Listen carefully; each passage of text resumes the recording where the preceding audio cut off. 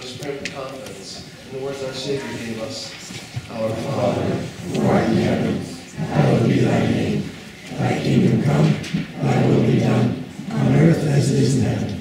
Give us this day our daily bread, and forgive us our trespasses, as we forgive those who trespass against us. And lead us not into temptation, but deliver us from evil.